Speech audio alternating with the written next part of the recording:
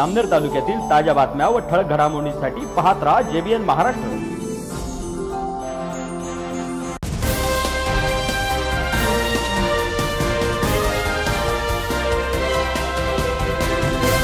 नमस्कार मी विनल चौधरी. पाहूया काही ठळक वृत्त.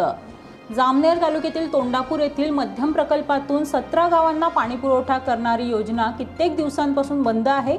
त्यावरील वीज पुरवठाही बंद असून जामनेर रस्त्यावर रस्त्याला लागून चक्क बंद असलेल्या पाणी पुरवठा योजनेच्या पाईपलाईनमधून दोन तीन दिवसाआड हजारो लिटर वाया जाणारे पाणी कोणाचे असा प्रश्न गावकऱ्यांपुढे उभा आहे. या पाणीपुरवठा योजनेतून पाणीपुरवठा सुरू असताना धरणातून शेतात जाणाऱ्या धरणातील चाळीस पाईपलाईनपैकी कोणत्या पाईपलाईनमधून पाणी चोरी तर होत नव्हती किंवा इतर शंका निर्माण होत आहे? अचानक बंद असलेल्या पाणीपुरवठा योजनेच्या पाईपलाईनच्या वॉलमधून हजारो लिटर पाणी कसे वाया जात आहे?